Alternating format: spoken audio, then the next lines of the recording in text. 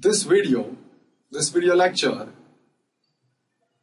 is created by Jagrat Creation. It is on joint venture account wherein I want to solve one sum wherein I am going to prepare memoranda joint venture account.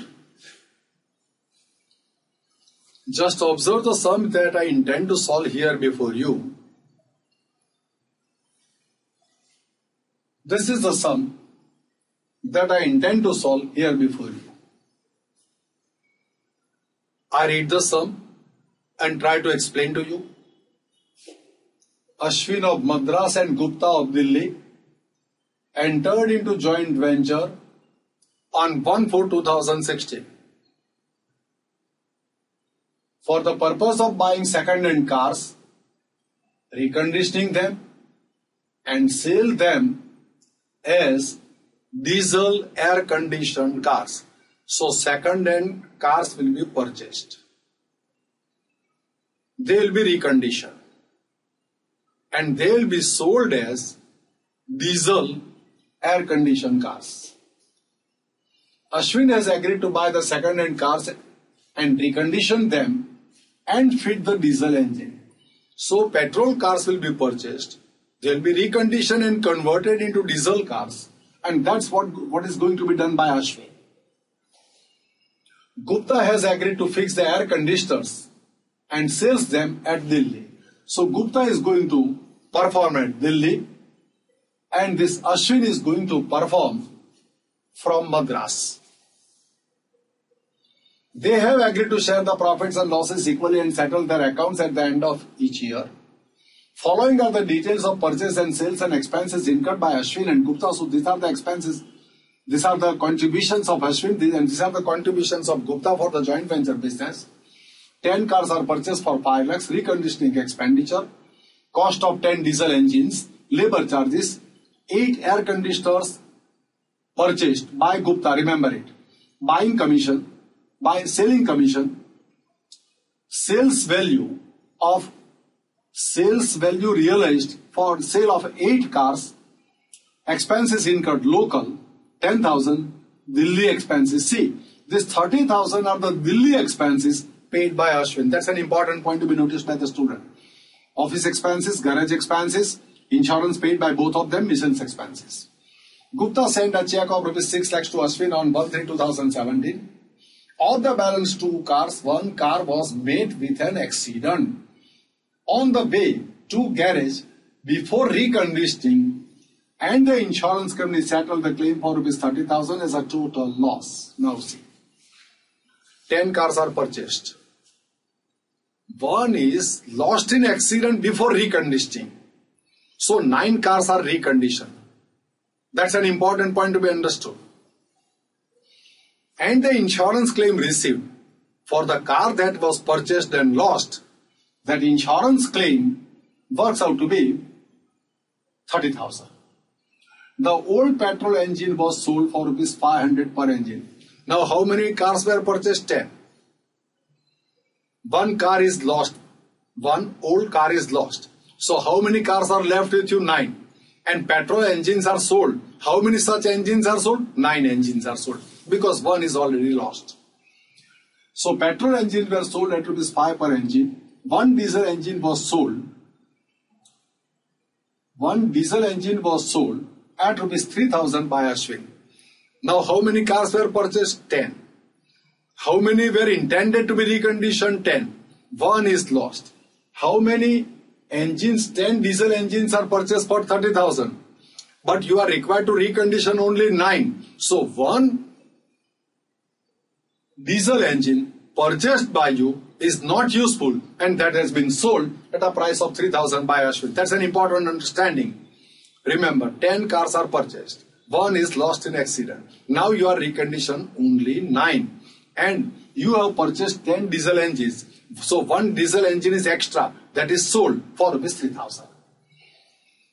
All of them were so uh, 3000 by Ashwin. All of them were sold before on 31 3 2000. Ashwin retained the balance one car as a non-air conditioned diesel car for his personal use, personal list, which was priced at an average cost. This is the most important point. Now see, 10 cars are purchased, one is lost, 9 are reconditioned, 8 are sold, 8 air conditioned cars are sold, one car is not sold, one car is not air conditioned. See, Ashwin retained balance one car as a non-air conditioned diesel car. So one car retained by Ashwin is a diesel car but not air conditioned. And that's why eight air conditioned machines are purchased, not nine. Because one car is not air conditioned but it is converted into diesel and that is taken by whom? Ashwin. Ashwin, uh, Ashwin retained balance one car as non-air conditioned car for his personal list which was priced at an average cost. Now one car, so 10 cars are purchased, one is lost, 8 are sold, one is retained by Ashwin at an average cost. What is the average cost? That's the most important point in this sum. So first of all, I would like to explain you the one car taken by Ashwin at an at an average cost I want to find out the average cost first of all because it is a very very important and crucial point of this sum. So let me first of all prepare working note to find out the average cost. Just observe. So I want to work out the average cost and for that I prepare a working note. Average cost of one car. So these are the expenses for 10 expenses incurred by Ashwin. Now out of all these expenses Delhi expenses 30,000. So expenses at a location Delhi paid by Ashwin at Madras is not going to be considered for the purpose of finding out the average cost. That is the first important point that students should notice. Understand once again. Freight expense at Delhi paid at Madras. This is not going to be considered. When I am going to find out the cost of one car retained by Ashwin at Madras. Ashwin at Ashwin of Madras. Because these expenses are incurred at Delhi and that expenses are not for are not meant for one car retained by Ashwin. So this 30,000 is not going to be considered. Now out of all these expenses, which are the expenses for 10 cars and which are the expenses for 9 cars. That is the classification that I am going to make. So, Ashwin incurred total expenses for 10 cars. So, he has purchased 10 cars for 5 lakhs. So, 5 lakhs is the purchase price of 10 cars. He has purchased 10 diesel engines. So, 30,000 is the expense for 10 cars. Now, buying commission, when he purchased, he paid a commission. He has to pay a commission for all 10 cars 25,000. When he purchases, he has to pay the freight. The freight is all paid for all 10 cars. So these are the expenses incurred for 10 cars. So what is the average cost of one car? So average cost of one car is 5,65,000 divided by 10. So 56,500 is the average cost of one car. Now, out of all these expenses, which are the expenses incurred for 9 cars? Out of 10, 1 is lost in transit. So, reconditioning has taken place for 9 cars. So, this 45,000 is a reconditioning expenditure for 9 cars. And out of that 9 car, 1 car is left kept by Ashwin with himself. So, now I want to make a list of expenses incurred for 9 cars. Total expenses for 9 cars. Reconditioning is made for 9 cars.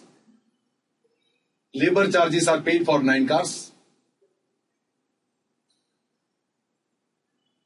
The rent and garage expenses are for 9 cars because one is already lost. Insurance is also for 9 cars. And miscellaneous expenses are also incurred for 9 cars. So these are the expenses for 9 cars. Remember, I have ignored this 30,000 expenses in this entire list. That's an important point. So these are the expenses for 9 cars. 1 lakh 7,000 are the expenses for 9 cars divided by 9. So you will get the average cost of one car. So average cost of one car is 11,889. So one cost taken by Ashwin at an average cost, its total value, average cost of one car is 68,389. This is the average cost at which Ashwin has taken one car for his personal use. So this is a very important calculation which I wanted to bring to your notice.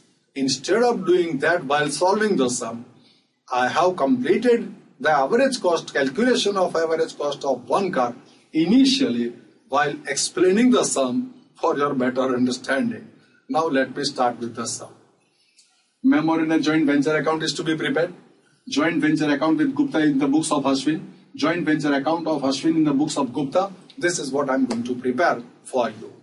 Now, first of all, I will start accounting in the books of Ashwin. So this is the details of the sum that has already been explained. Books of Ashwin. He prepares joint venture with Gupta account. When he prepares joint venture with Gupta account, he is going to consider all these transactions. The transaction of Gupta and joint venture. All these transactions of Gupta and joint venture are not going to be considered when Ashwin records his transaction with joint venture. So, these are the transactions that I am not going to record. Why I am not going to record this transaction? Because Gupta receives for joint venture. It is a transaction between joint venture and Gupta, hence not recorded in the books of Ashwin. Same way, Gupta contributes for joint venture. It is a transaction between joint venture and Gupta, hence not recorded in the books of Ashwin. So all these transactions, this second row transaction, I am not going to record. So let me have a curtain on it. This I am not going to record. Now I start. Engine purchase for 5 lakhs. Payment is made. Joint venture with Gupta account debit to bank account. Reconditioning expense is paid 30,000. Joint venture X. Joint venture with Gupta account debit to bank account. Same way 30,000 debited. Cost of 10 diesel. Labor charges debited. Commission debited. Joint venture with Gupta account debit to bank account. Freight expense paid by me debited. So joint venture with Gupta debited. See, when I debit, I write in the inner column the narration. Joint venture with Gupta account debit. Main title is bank account. Notice it. 30,000 debited. Rent for office debited. Rent for garage debited. Insurance and miscellaneous expenses paid by Ashwin. All these expenses paid by Ashwin. Purchase price paid by Ashwin. The payment is made.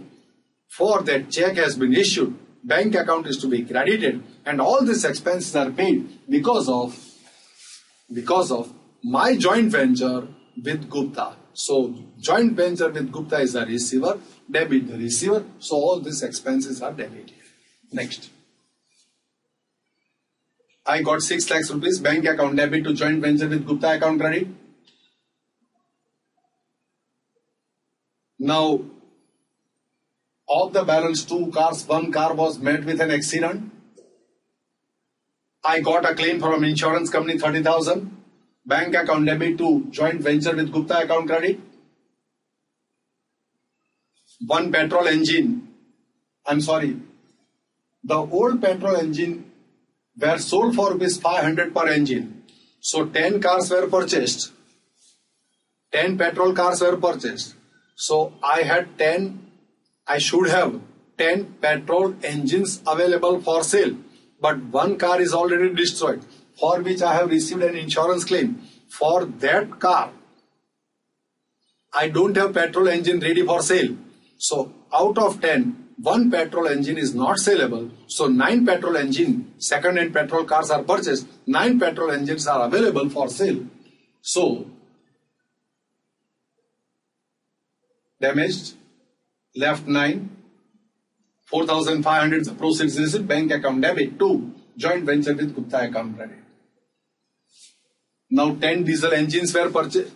10 diesel engines were purchased, but I was required to recondition only 9. So one diesel, diesel engine purchased was left out that has been sold for rupees 3000.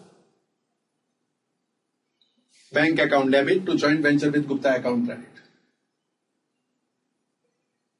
All of them were sold before 31st of March 2017. Ashwin retained the balance one car. Now Ashwin has retained one car is taken by Ashwin at an average cost and I have already worked out the average cost while reading the sum. So this car is taken. So motor car account debit to joint venture with Gupta account credit 68,389. I have already explained you this working note while explaining the sum. Now all these transactions are recorded by Ashwin in his books of accounts with which he was concerned. Now he, want to, he wants to know his share in profit. Ashwin claims his share in profit from joint venture. For that memoranda joint venture account is prepared. Here I prepare memoranda joint venture account. Now all these expenses are the expenses for 10 cars or 9 cars. And they were recorded in this memoranda, in this statement. So these are the expenses for 10 cars paid by Ashwin. These are the expenses paid by Ashwin for 9 cars. All are debited. Only one expense, 30,000 was not considered but paid by Ashwin. That is also an expense for joint venture. So it is to be debited in memoranda joint venture account. It is to be recorded on the expense side of memoranda joint venture account. Memoranda joint venture account is a statement to find out the profit of joint venture business. It is not prepared on the basis of double entry bookkeeping debit corresponds credit or credit corresponds debit, but it is prepared on the basis of matching concept and this matching concept is generally applied to find out the profit in trading and profit and loss account. On the basis of this, those concepts, this memoranda joint venture account is prepared. Now I want to record the expenses paid by Gupta. Labor charges, air conditioners purchased, sales commission paid, sales proceeds are recorded on the revenue side, freight paid, rent paid at rent paid not at Madras, at Delhi, insurance paid at Delhi, missiles expenses paid at Delhi. So these are the expenses paid by Gupta. They are recorded on the expense side in my memoranda joint venture account to find out the profit. Sales proceeds are recorded. Sales proceeds for eight cars are recorded. Now, insurance claim received for one car, that's an income. Now, nine petrol engines are sold. That is also revenue. One diesel engine purchased, not used, sold. One car taken by Ashwin at an average cost of 68,389. That is also recorded in the credit side, income side. Now you can have a total of revenue minus total of expenses, you will get the profit. This profit will be distributed between partners. Equal sharing. Share of Ashwin in profit is 21,945. He will claim this profit for from joint venture with Gupta account. So joint venture with Gupta account debit to profit and loss account credit. Now this account is to be settled. So these are the payments contributions made by or claims of Ashwin. The total of claims minus receipts difference will be recovered by Ashwin from joint venture with Gupta. So bank account debit to joint venture with Gupta account credit 18,056. This is the difference that is to be recovered by Ashwin from joint venture with Gupta on conclusion of the joint venture. This is how transactions are recorded by Ashwin memoranda joint venture account is prepared by Ashwin, his profit is claimed and the accounts are settled. Now I want to consider all these transactions in the books of Gupta. Let me start. He prepared joint venture with Ashwin. All these are the transactions of Ashwin with the joint venture. So Ashwin receives from joint venture, not recorded by Gupta. Ashwin contributes for joint venture business, not recorded by Gupta. So all these transactions are not going to be recorded by Gupta. So I just remove them. So these are the payments and receipts of Gupta. Payment made 32,000. Joint venture with Ashwin account debit to bank account. 4 lakhs. Joint venture with Ashwin account debit to bank account. Air conditioners purchased. Sales commission paid 60,000. Joint venture with Ashwin account debit to bank account. This is a revenue. Amount is received 12 lakhs. The 12 lakhs rupees are received by Gupta from joint venture with Ashwin account. So is a giver, credit the giver, so 12 lakhs will be credited here. These expenses are debited, joint venture with Gupta account debit to bank account. Office rent, garage rent, insurance expense and miscellaneous expenses all are paid by Gupta. So are they, they are debited to joint venture with Ashwin account debit to bank account miscellaneous expenses. Now, I'm Gupta, I have sent a check of 6 lakhs to Ashwin. Joint venture with Ashwin account debit to bank account. For one car insurance claim received by Ashwin that will be recorded by Ashwin, not me.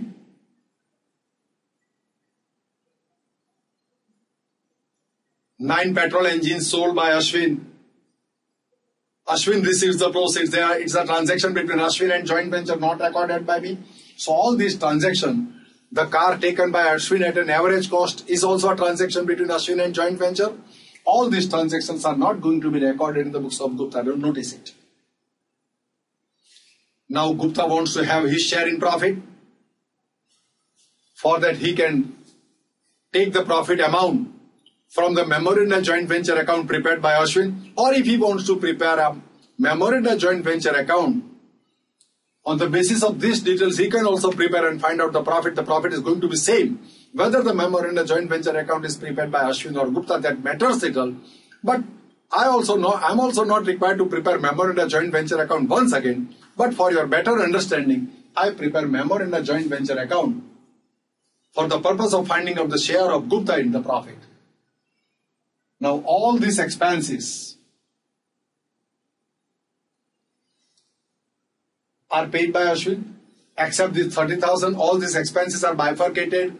By me in expenses incurred for 10, eh, 10 cars and expenses incurred for 9 cars. That I have recorded in the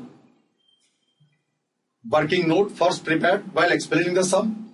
So expenses for 10 cars, expenses for 9 cars over and above 30,000 paid for freight at Delhi. So these are the total expenses paid by Ashwin, debited to or recorded to the expense side of memorandum joint venture account. Memorandum joint venture account is prepared to find out the profit that is prepared on the basis of matching concept. All purchases expenses will be recorded on this side. All revenues will be recorded in the opposite side. The expenses will be matched with revenue and profit will be found out. Now let me write down all the expenses and the contributions of Gupta. So it is recorded in the expense side, 32,000, then 4 lakhs, then 60,000, commission, 12 lakhs is the revenue is recorded in the opposite side, freight local paid, rent paid at Delhi, office and garage rent recorded in the expense side, insurance and miscellaneous expenses paid at Delhi recorded on the debit side, they are the payments paid by Gupta. So these are the contributions of Gupta and the revenue received by Gupta is 12 lakhs. Now, this remittance of 6 lakhs by Gupta to Ashwin is not going to appear in this memorandum joint venture account because it's a mutual transfer, internal transfer between the partners. It is neither revenue nor expense, so it cannot appear in memorandum joint venture account. Now, one car insurance claim received, revenue credited or recorded in the income side. Nine petrol engines sold for business, 500 each. 4,500. One diesel engine not used, disposed of, 3,000. One car taken by Ashwin, at an average cost, which I already worked out 68,389. That is also revenue for joint venture business. Now total of revenue minus total of expenses, I'll get the profit.